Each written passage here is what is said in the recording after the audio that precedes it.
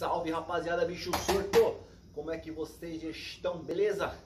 Galera, é o seguinte, tem um pessoal que tem me perguntado algumas coisas básicas, mas tem perguntado. Às vezes é um cara que está começando agora, né? Às vezes é um cara que, que nunca fez, não sabe. Porque assim, né? A galera que já tá milhando aí no, no hobby e tal, às vezes quando cai uma perguntinha uma perguntinha bem simples, às vezes a pessoa não faz questão de responder. Ah, putz, aí já respondi milhões de, de, de, de vezes. Cara, mas todo dia tá entrando uma galera nova. Todo dia tem um cara que às vezes vê, vê o aquário do, do, de um, um abençoado lá, vai lá e tome like e começa a seguir o cara. Aí vê outro aquário de outro cara lá, tome like e começa a seguir, né? E aí o cara faz uma pergunta, os caras não respondem, ou respondem de qualquer jeito. Então tem duas perguntas, galera, que o pessoal me fez, que foram é, é, de várias pessoas a mesma pergunta, né? Então eu vou tentar dar uma simplificada aqui, tá, galera?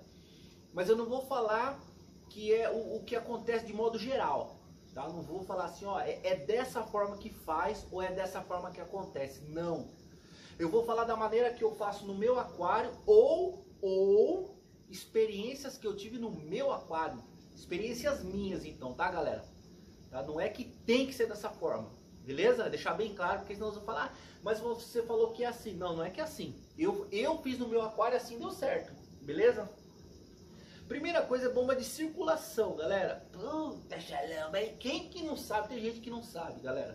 Bomba de circulação, essa bombinha azul que tem aqui, uma aqui e outra aqui. O nome já fala. Bomba, né? De circulação, de circular. O que, que ela vai fazer, galera? Ela vai fazer a movimentação da água dentro do aquário. Eu tô quase dançando aqui. A movimentação. Tem gente que usa a bomba de circulação para quê? Um pouquinho mais para baixo, direcionada para o substrato, não muito, porque se você direcionar a bomba é, muito para o substrato, ela vai começar a empurrar o substrato para o outro lado. E se você colocar uma de lá, vai empurrar para cá, ou seja, vai criar uma, uns buracos no meio do substrato. O que, que é isso? É a força da bomba de circulação que estava direcionada naquele lugar. Então você tem que ir regulando, vamos supor, eu nunca coloquei a bomba de circulação. Então você coloca num ponto, liga ela e deixa, aí você vai ver. Começou a fazer um buraco no substrato, muda ela. Entendeu? Ah, fez outro buraco, levanta um pouquinho ela. Ficou muito alto, abaixa um pouquinho ela. Aqui eu uso ela de forma o que não muito direcionada para baixo para não ficar um buraco no substrato, mas de modo que ela consiga varrer o meu substrato. A bomba de circulação eu uso aqui para isso, para varrer o meu substrato. Porque quando eu faço alimentação, fica aqueles dejetos, né? Aquele monte de bagaceira, aquela sujeira no fundo. O que que faz? A bomba de circulação ela faz esse movimento, né? E leva a sujeira para cima que manda para a bota central lá que vai para o samp e faz a filtragem, tá? Então eu uso duas. Por que duas? Tá? Não há necessidade de duas, tá galera? Não há. Uma só dá conta. Porém, ela vai demorar muito mais tempo para fazer a limpeza. Duas, ela já faz essa movimentação na água pum, e a sujeira vai para o samp, tipo meia... Eu alimento meia hora, a minha água tá desse jeito, limpinha. Meia hora. Se eu deixar só com uma funcionando, ela vai demorar um pouco mais para limpar o aquário, para ter uma visibilidade legal. Essa é a função, tá? Tem gente que usa bomba de circulação direcionada para a flor da água aqui, ó. Para quê? Para fazer essa, tá vendo essa movimentaçãozinha aqui, galera? Não sei se vocês estão conseguindo ver, ó. Tem uma aqui e tem uma desse lado aqui. Isso é do cano de subida do, do recal. Eu deixo ele bem na flor da água, por quê? Porque com a força da água que vem do recal, ela faz esse movimento na água. E isso oxigena a água, faz a oxigenação da água, tá? Quem não tem esse sistema, o que, que ele faz? Ele pega e vira a bomba de circulação para cima, para ela fazer este movimento. Aí oxigena, faz a oxigenação na água. Beleza? Então a bomba de circulação tem essas, é, essas, do, essas duas funções aí. Uma, o cara direciona para limpar o substrato, que é o meu caso, para ficar limpinho e rápido, que eu tenho duas. Outra, o pessoal gira para cima para fazer a oxigenação da água. O cara que tem um aquário muito grande e bem largo, e tá cheio de, de, de enfeite, vamos supor, o cara tem tronco, o cara tem umas caveiras, o cara tem um monte de coisa dentro, o que que acontece? Quando você alimenta, nessas partezinhas onde fica o tronco, onde fica os enfeites, vai acumulando sujeira. Acumulando, acumulando, acumulando sujeira, entendeu? Isso aí uma hora pode dar um pico de amônia pela, pela, é, é, pela grande concentração de, de, de sujeira que ficou lá, tá? E o que que acontece? Aí o cara tem que colocar mais de uma ou mais de duas bombas de circulação apontada naqueles pontos cego aonde fica a sujeira. Estão entendendo mais ou menos? Mais ou menos isso aí. Vamos supor, o cara tem um aquário grande, tem, tem um troncão lá e fica sempre sujeira em volta dele. O cara vai colocar uma bomba numa ponta, outra bomba da ponta e outra ponta, fazendo um triângulo. Aí ela vai fazer isso aqui, ó. E nunca vai ficar sujeira acumulada. Entendeu? Sempre a sujeira vai indo para a bota. Entendeu? Por isso que nós, jumbista, né? Não, vou falar nós não, senão eu começo a falar de muita gente. Vou falar eu, melhor, né? Eu. Eu uso esse substrato fininho aqui, por quê? Porque quando eu alimento, a sujeira fica na, na assim em cima do, do, do, substrato, ele não afunda. Então, com, com a força da, da, da bomba de circulação, ela faz essa limpeza. Tem gente que usa aquelas pedras de seixo, várias pedras grandes, né? Fica forrado de pedra, assim. É bonito. Só que entre elas, assim, ó, fica aquele acúmulo de sujeira enorme. Ou o cara tem um substrato com a gronometria grande, vamos supor, 2, 3. Aí fica umas cavidades assim, ó. Aí enche de sujeira. Aí o cara tem que ficar fazendo sinfonagem. Lembra aquele negócio de você ficar lá? Limpando o substrato? Isso é sinfonagem. O cara tem. Mano, essa trabalheira pra fazer sinfonagem, você é louco, boy. O que faz? Mano, mete um substrato fininho, top. Pode ser da M Breda, que é o que eu tenho aqui. É o terracota da M Breda que eu tenho. Tem um outro que é parecido com, com terracota, só que não é da M Breda, mas é terracota. Tem areia de, de piscina. Tem, mano, tem várias que é fininha assim, tudo serve, tá?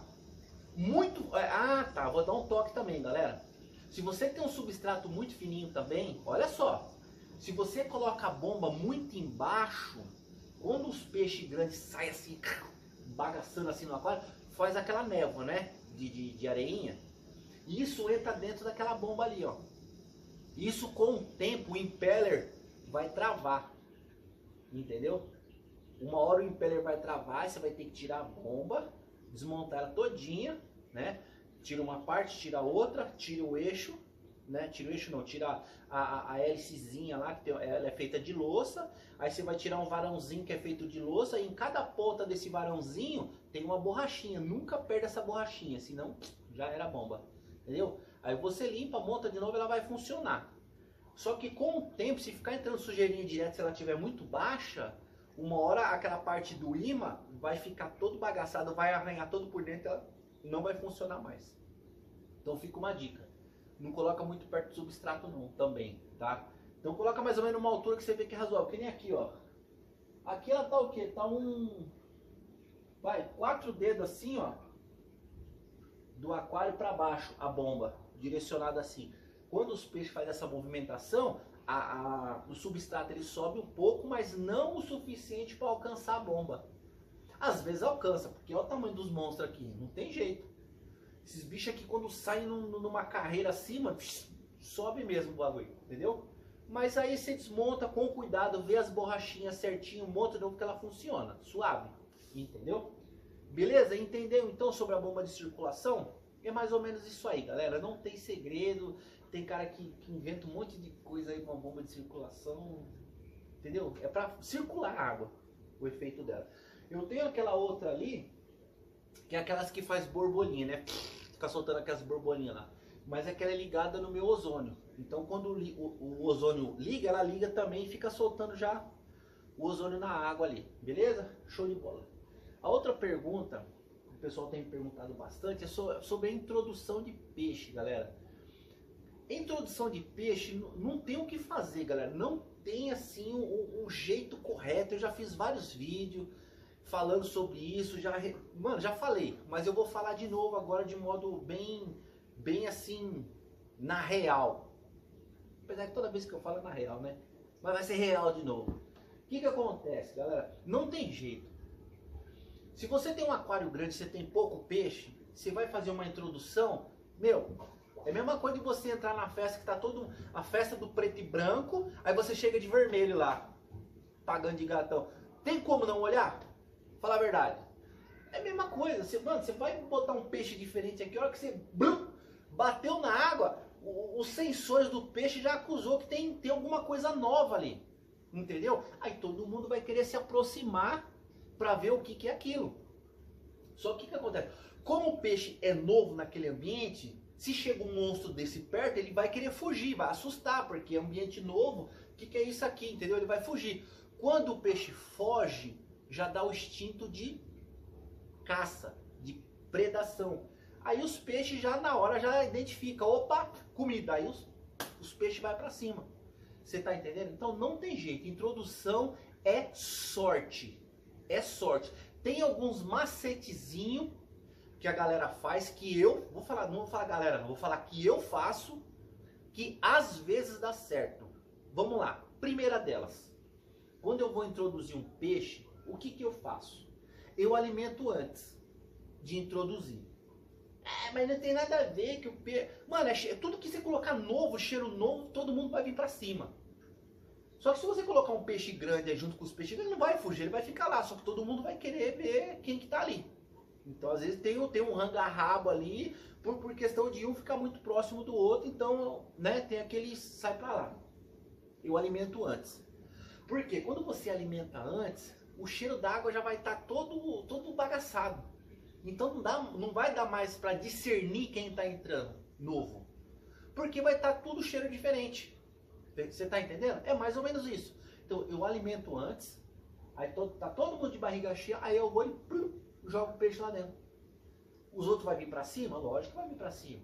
Vai lá conhecer, porque opa, esse cara eu nunca vi. Mas até então o pessoal tá de ó, barriga cheia, galera. Tá de barriga cheia. Entendeu? Então, a probabilidade de predação é, é, é, pequena. Porque tá todo mundo de barriga cheia. O cara não vai querer ir pra cima de alguém. Agora, se tá todo mundo. Eu não fiz alimentação, né? Tá todo mundo com fome. Aí você vai fazer uma introdução. Além do cheiro novo e além do instinto predatório dos peixes, a probabilidade de dar ruim é bem maior. Você tá entendendo? Então, essa é uma dica. Segunda dica. Tem gente que quando vai fazer a introdução, o que, que eles fazem? Ele não faz a introdução só de um peixe. Ele já faz mais de um, coloca dois, três peixes, vamos supor. Um exemplo, tá? Um exemplo, galera. Eu vou fazer uma introdução de um Oscar, né? Meu, vai chamar atenção, é peixe novo, tudo. Aí o que, que eu faço? Eu vou lá e compro umas três, quatro tilápias São Peter. Aí eu vou e as três tilápias São Peter e jogo o Oscar. Vê da atenção ficar em só nenhum peixe no Oscar, vai ficar na atenção de quem? Dos quatro, né? Vai ter as três tilápias mais o Oscar que vai chamar a atenção de todo mundo. Aí vai ficar aquele negócio lá, aquela, meio que aquela confusão ali. Então a probabilidade de dar ruim também é um pouco menor. Você tá entendendo? Não é que funciona. Já funcionou aqui quando eu tinha a galera aqui que era, era os peixes era menor.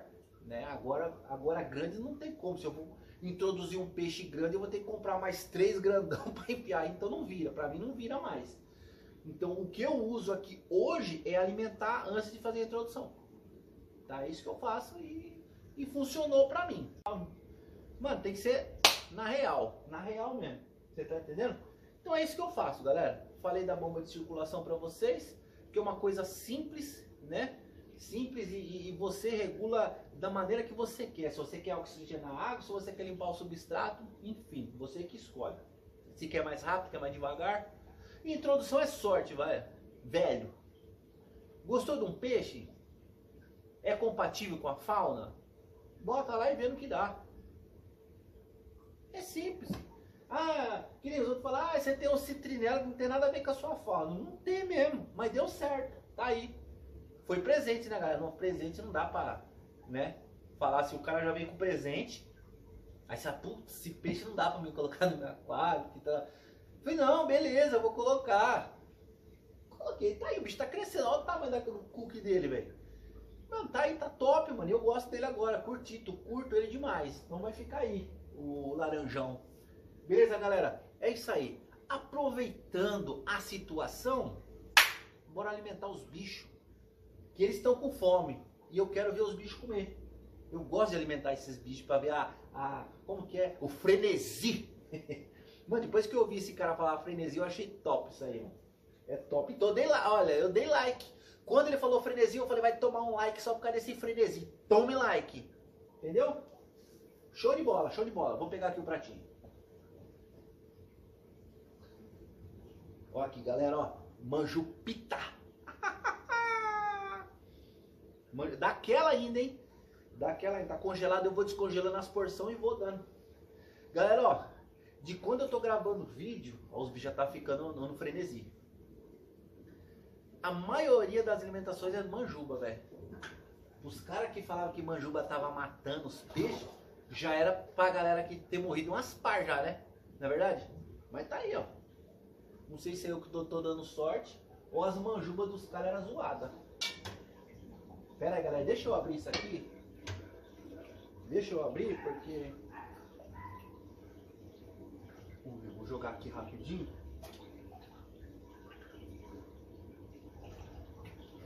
Olha, olha só. Eles fazem uma... Oi, oi. Agora, ó, a micropelts agora. Ui, derrubei um peixe aqui. Quase foi debaixo do sofá.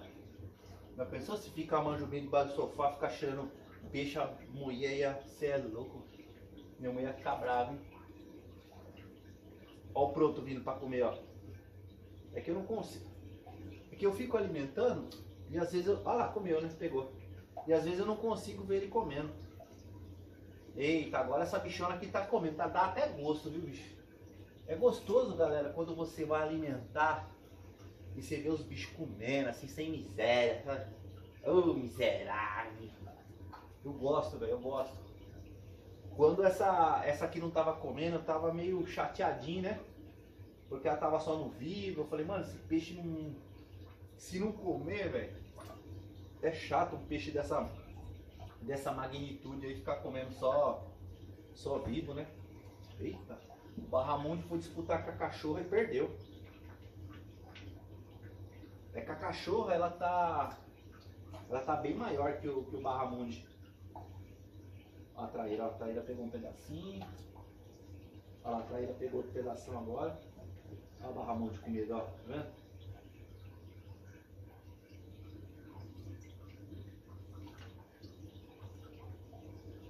Vai, filha, vem pegar aqui, senão você não vai sobrar pra você.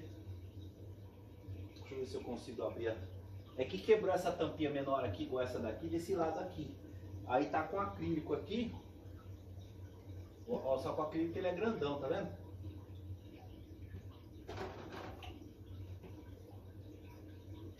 Aí, eu joguei pra ela. Ou vamos ver se ela vai pegar. Pegou. Ixi, é louco. Viu o tamanho da, a boca da Barra Mundi, ela parece ser pequenininha, mas ela faz um funil, velho. Ela faz um funil, dá aquela sugada, coisa linda. Eu não vi se o Pacamã comeu. É difícil o Pacamã não comer, né? Vamos ver se ele vai... Depois eu vou ter que dar uma olhada. Olha, a cachorrinha, ela tá comendo que é lindo, viu? Lindo de se ver.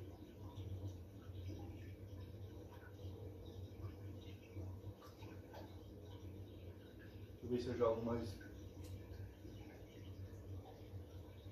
Eu queria ver o Proto pegar de novo, acho que o Proto pegou só um. Opa, opa, opa. Vamos ver se vai cair aqui perto da boca do Proto, ó. Olha, olha, mano. Ó. Putz, mano. Não viu. Vai lá, vamos ver se vai pegar. Vamos ver, vamos ver. Vem, Proto, vem. Ixi. Pro também enxerga ruim pra caramba, né? É mais por sensor, né? Então é isso aí, galera. Videozinho explicando aí. Espero que, que a galera que, que tem me perguntado aí, tomara que eu tirei todas as dúvidas aí de modo geral, né? E aproveitei também para alimentar os bichos aí que, que eu, eu curto demais alimentar os bichos, acho da hora, mano. É mais gostoso ainda quando você alimenta e vê todos comendo, né? É legal, você vê que, mano, os bichos tá, ó, todo mundo gordo, todo mundo com a cor bonita, água boa, aquário bom. Isso é bacana, galera. Isso é bacana. Eu, eu, eu, eu fico contente com isso, né? Qual aquarista que não fica, né, galera? Tem gente que fala muito, né? Que, que nem assim, o sistema que uso aqui é o sistema de lotação. Todo mundo sabe que é bastante peixe concentrado num único lugar, pá. Enfim, eu amo lotação, acho top demais a variedade de peixe, peixes exóticos, né? Eu acho muito top.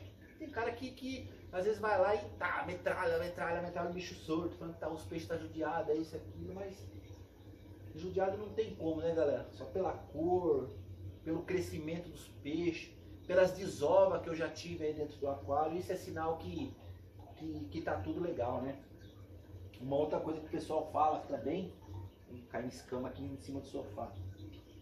O pessoal fala muito é que aquário que tem a raia é um aquário bom, né? Porque diz que a raia ela é bem sensível aos parâmetros, né?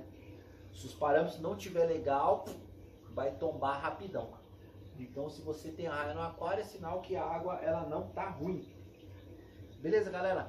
Tamo junto, é nós e valeu. Ah, galera,